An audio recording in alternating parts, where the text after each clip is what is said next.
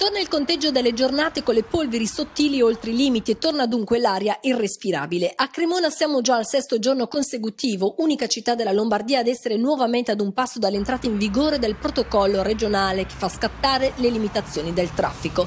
I dati di ARPA Lombardia mostrano che la ripresa dell'inquinamento dopo una breve tregua donata dalle piogge è iniziata l'11 febbraio per proseguire inarrestabile fino a superare il giorno 12 anche il valore di allerta di secondo livello.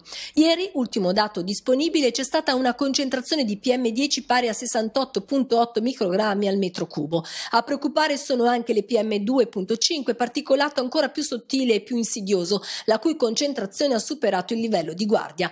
Come sempre l'arma è quella dell'attesa. Si guarda il cielo tendendo la pioggia, visto che la politica sembra aver esaurito idee al riguardo.